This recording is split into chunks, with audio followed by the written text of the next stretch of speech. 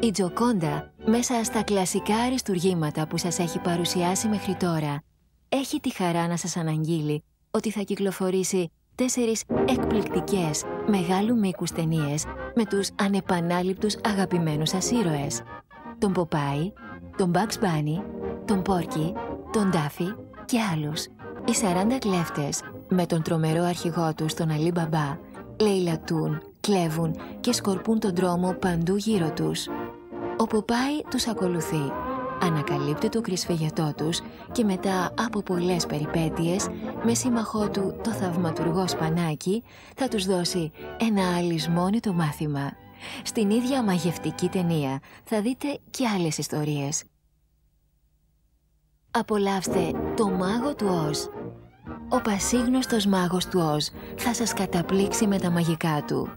Ο μικρούλης Captain Cab αποδεικνύεται ικανότατος και γενναίος πιλότος. Χάνκι και Σπάνκι. Ο μικρός γαϊδαράκος μπορεί να μην πετά όπως οι φίλοι του τα πουλάκια, αλλά δίνει κλωτσιές που κυριολεκτικά σώζουν ζωές. Μπάνι Μουν. Τα κουνελάκια ετοιμάζουν το γάμο τους με προσκεκλημένους όλα τα ζωάκια του δάσους που θα μοιραστούν τη χαρά τους και φυσικά τη γαμήλια τούρτα. Ταξιδέψτε στο γαλάζιο Δούναβι. Η πάπια με τα τρία παπάκια της, καμαρωτά και ανέμελα στο ρυθμό του Δούναβι, διασχίζουν το ποταμάκι. Ο εχθρός όμως παραμονεύει.